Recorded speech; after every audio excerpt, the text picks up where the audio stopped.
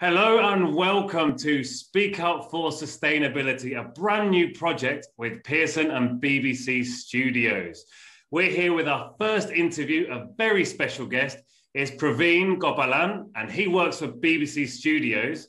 Thanks for joining us, Praveen. Thanks for having me, Harry. Can you tell us something about what you do at BBC Studios? And I'm the sustainability guy for the company. So I help work with these different teams to make sure that our products and our services are as environmentally friendly as possible. So that's what I do.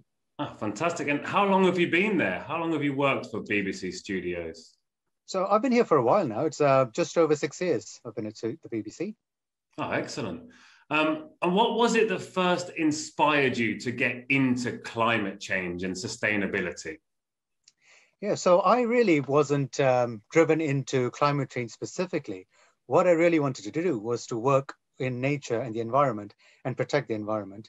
And that's because I'm a child of the tropics. I grew up in Malaysia and I grew up away from the cities. I was in the country. So I was surrounded by nature all the time. I really enjoyed nature and wanted to do my bit to protect it. So I studied environmental related degrees. And uh, of course, now climate change is one of the biggest issues that we have for nature. And that's how I've fallen into looking after working climate change.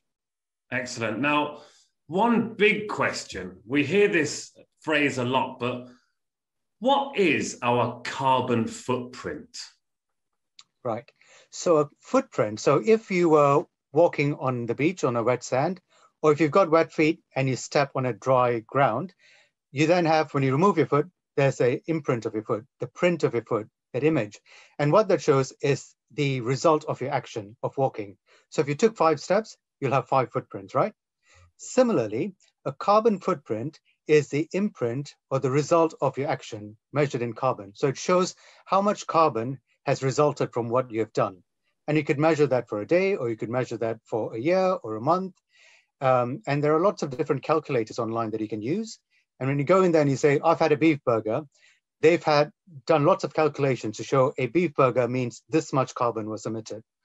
Or if you say, I left a light on for 10 hours, they have lots of calculation that says 10 hours of light means this much of carbon.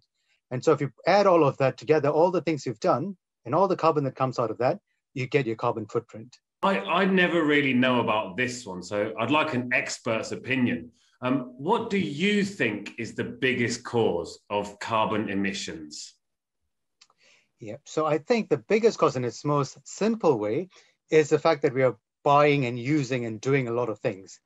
And the reason that has a carbon footprint or an impact is because we use energy. And when I say energy, I mean two things. One, electricity, and two, the fuel that you use for transport. So for example, petrol and diesel and jet fuel for planes, cars, and trains and all of that. And electricity that comes from burning coal and natural gas. Coal, gas, petrol, diesel, and all of those are known as fossil fuels. And essentially, these are dead plants and animals that have been buried for thousands and millions of years underground. And when we burn them to create electricity or to power our cars, it emits carbon dioxide.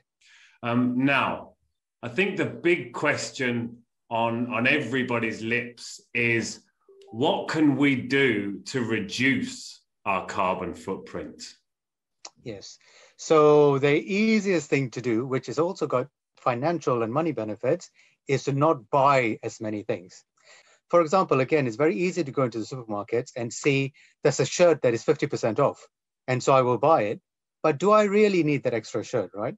Because if I think about it, uh, looking at it is just one single shirt. But if you think about the entire journey of the shirt, because you'd have had someone grow the cotton, you'd have had someone use a lot of machines that are powered by fuel to harvest the cotton, take it to a factory where the uh, machines would have been used to make the shirt, and then it's transported to the shops, and then it's transported to the shops to my house, and then I use it five times, and then I get bored and I throw it away, and then it's got to be transported to the waste plant, and then it's got energy to uh, burn the thing or to uh, dispose of it responsibly. So there's a lot of carbon. So the less we buy that we don't need, the less carbon we emit, and it's better for the planet. The second point is once you buy stuff, is to not waste it. Because often now we find we buy something, if it breaks, we quickly chuck it away. And this is where reduce, reuse, and recycle comes in, right? So you try and reduce as much as you can, so you don't buy stuff. Re you reuse it, so if you can fix it, you fix it, and only then recycle. And I believe you are going to be exploring this in detail later, Harry. Reduce, reuse, and recycle. We are and indeed. great. And the final point that I'd like to make is about what we eat. And uh, really being a vegetarian has a much better impact on the climate. We don't all have to be vegetarian. What it would be good is if we reduce the amount of meat we eat, because meat does have a strong climate impact. And so almost treat meat like a treat, really, because before when meat was really expensive, we didn't eat it every day. We didn't eat it with every meal. It was a special thing. And so if we can start thinking of meat in the same way, that would be very good for the environment. Brilliant. Well, thank you very much for your time today. It's been a real pleasure.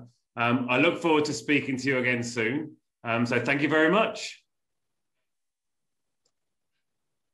Thank you very much, Harry. It's been a pleasure speaking to you as well. I'll speak to you soon. Bye bye. Speak to you soon. Bye.